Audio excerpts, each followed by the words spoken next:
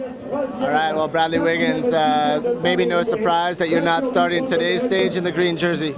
Yeah, I mean, it was always going to happen, really. I was just kind of keeping it warm for pretty much whoever won the stage yesterday, and happened to be Cav, so I'm sure he'll hold it for some time now. Let's talk about that finish yesterday. Tyler Farrar, obviously second. Uh, what was your role in that lead out? Uh, to be honest, nothing really. Um, a lot of the guys were looking after me and Christian yesterday, keeping us out of trouble, keeping us hydrated. A really hot day, and we got through quite a few bottles. But um, yeah, just obviously Julian was designated to look after Tyler with Martin, and they did a great job. And they tried to work a little bit off Columbia because obviously Columbia hit the front with their full team and.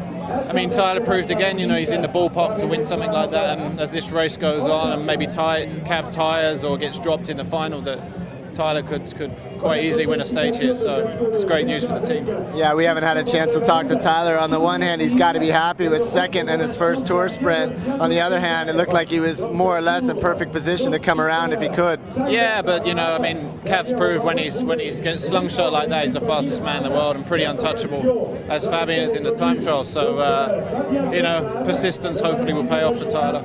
So we see the Garmin team with the radios on the helmet. That's an unusual look. I haven't seen that before. Tell me about that. Yeah, I mean, we've got some sort of new skin tight aero jerseys, so uh, it's getting difficult, obviously, with your food in there and to get a radio in as well in the back, it makes it quite uncomfortable. So, helmet seemed an easy place to have it, you know, kind of carry around on your head and at the back of the helmet. So, just trying out. Yesterday was the first day of actual road racing of the tour. What can you tell me a little bit about the feeling in the peloton? Was it more nervous than normal? Um, it was quite nervous, um, but not as nervous as I think everyone imagined. I think with Lance back, everyone imagined Lance to be really stressing and kind of staying in the front with his whole team, and we didn't see Lance all day. He seems super relaxed at the moment, um, which is kind of rare, really, because you know three or four years ago it was kind of stress fest with the whole of Discovery riding in the front. But no, yesterday was pretty relaxed for a first stage. It was quite a tough stage, um, but obviously, yeah, we'll, we'll, see how the next few days goes. One last question: With the team time trial tomorrow,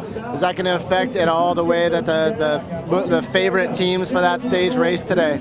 Uh, possibly, but it didn't yesterday. We saw Saxo riding most of the day yesterday. Columbia in the final. So uh, they had a pretty tough day yesterday, and maybe they'll they'll do the same today again. But um, I don't think anyone's really thinking of tomorrow yet. It's kind of trying to just take it a day at a time, and today's going to be a tough day. All right. Well, thanks for the time, Bradley. Thanks.